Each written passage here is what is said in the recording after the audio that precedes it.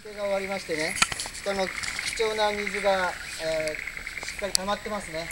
えー、これで全然もう予定通り進行してます、えー、水が溜まってるところからもう荒代かきも終わってるところもありますので、えちょっと、え進捗状況で作業が違いますから全体に言いますがまず水が入ってなくまだ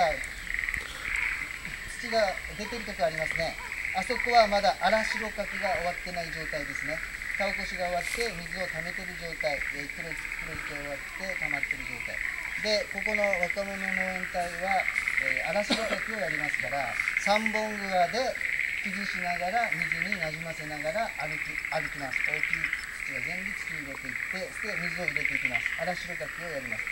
農園隊のね。はい。それで、後の人たちは、えー、水が入ってるのでね、なんか終わってるような気がしますけど、マイケルのところはまだまだ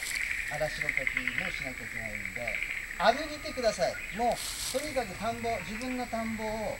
自分で歩いて足の裏で高い低い埋まるっていうのを自分の感覚でしっかり掴んでください。そうすると、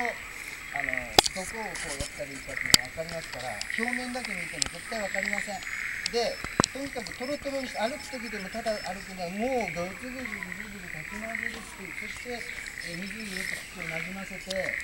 水が土を動かしてくれますから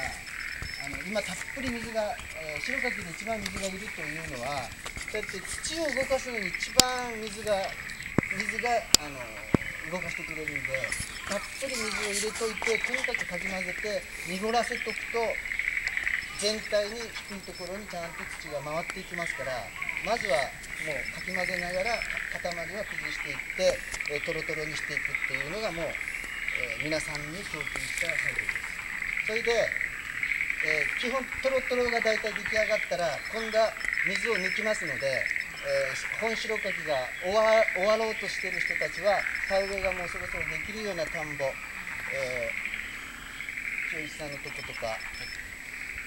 えここは気をつけないけど、えそういうとこ今度はね水を抜いてみます。で、えだんだんだんだん水を抜いてくるとまた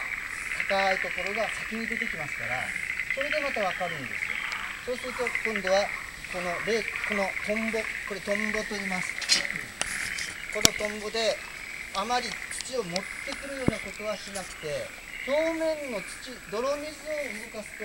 水が土を持ってくるのでさあこれまたやり方を教えます。今日は本白書きする人はこれをやります、